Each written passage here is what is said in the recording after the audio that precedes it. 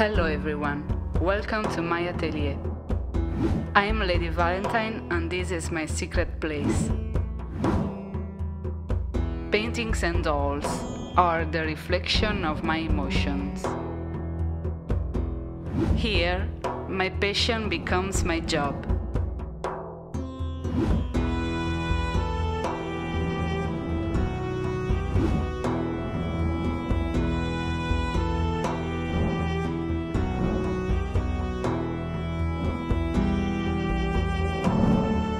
You want to see my collection, take a look at my gallery on Instagram.